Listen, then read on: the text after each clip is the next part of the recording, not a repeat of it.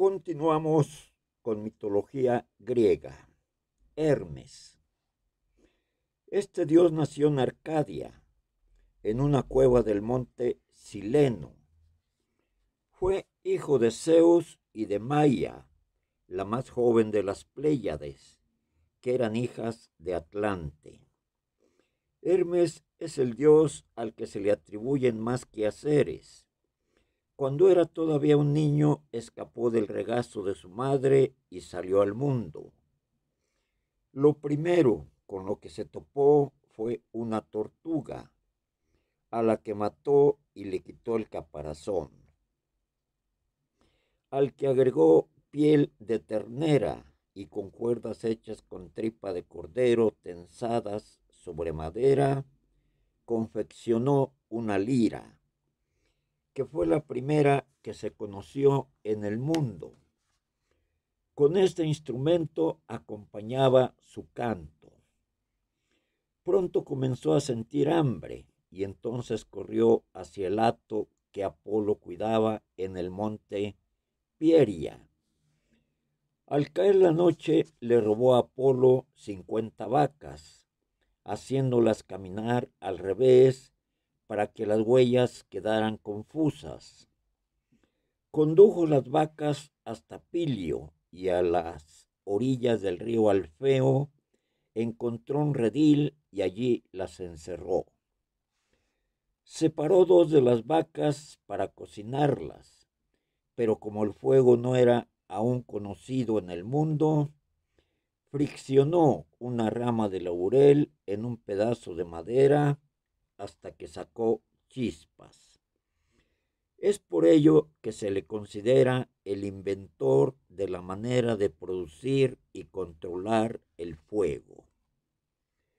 A continuación sacrificó las dos vacas, las cortó en doce pedazos, los ofreció a los dioses y asó el resto para sí. Hacia el mediodía regresó a la cueva junto a su madre y se acostó sin hacer ruido. Apolo notó que, que, le faltaban animales y por medio de su arte adivinatorio supo quién había sido el ladrón. Entonces corrió al monte Sileno y encontró a Hermes envuelto en mantas. Muy enojado le pidió que le devolviese las vacas. Hermes, alegando que todavía era un bebé, negó el robo. Entonces Apolo lo obligó a subir con él al Olimpo para que se defendiera de la acusación ante Zeus, que era el padre de ambos. Hermes, con gran cinismo, declaró que nunca había llevado las vacas a su casa. La desenvoltura que mostró ante su padre provocó la risa de Zeus, quien finalmente le ordenó mostrara a Apolo su escondite. Cuando los dos hermanos ya se habían reconciliado, Hermes le regaló a Apolo su lira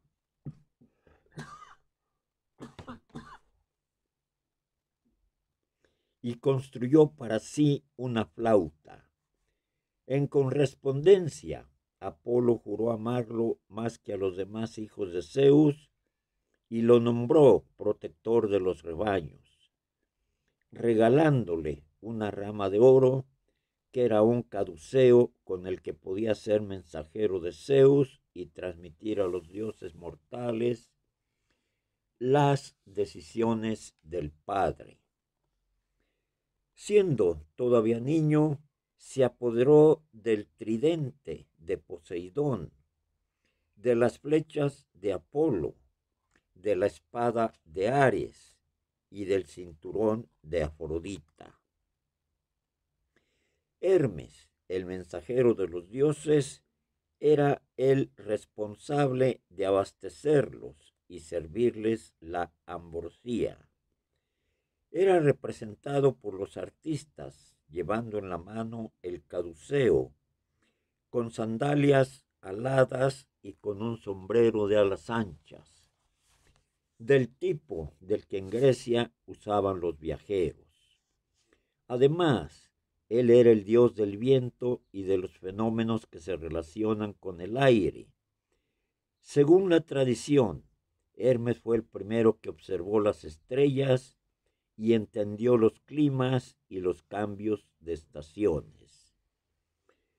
Asimismo, Hermes era dios del comercio e incluso de los ladrones. Se le atribuía la invención de las unidades de medida, de pesas y de la balanza. Como una ráfaga de viento, el dios atravesaba continentes y mares para transmitir, los mensajes de los dioses. Hermes podía asimismo llegar al mundo subterráneo, y por ello era el dios que conducía a las almas de los muertos ante Hades. Nadie podía morir si Hermes no rompía del todo los lazos que unen el alma al cuerpo. Era, además, el patrón de los retóricos, filósofos y hombres de letras. De acuerdo con los mitos, acompañaba a Hera para velar por su conducta y también había acompañado a Hades cuando raptó a Proserpina. Cuando Zeus se unió a Io en Argos, aquel le pidió a Hermes que distrajera a los habitantes de la ciudad para que no lo descubrieran. Hermes los entretuvo con sus discursos durante horas, y cuando los dioses crearon a Pandora, Hermes les confirió el uso de la palabra, pero al mismo tiempo le dio el poder de mentir y engañar. Era tan veloz como el viento y muy hábil para esconderse. Durante la guerra de Zeus contra los gigantes llevaba un casco que lo hacía invisible como el viento. A Hermes se le atribuían un carácter erótico muy marcado y con frecuencia perseguía a las jóvenes mujeres y a las ninfas de los campos y bosques. De sus amores nacieron Mirtile, Auriga del rey de Pisa, Enomaus, Polibio, que fue rey de Sicione y que casó a su hija liciniarse con Talaus, rey de los argivos.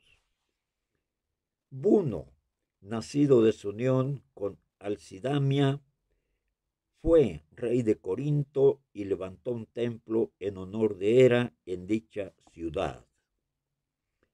Autólito, abuelo materno de Ulises, Abdero, que fundó la ciudad de Abdera y era amigo de Heracles el heraldo de los argonautas.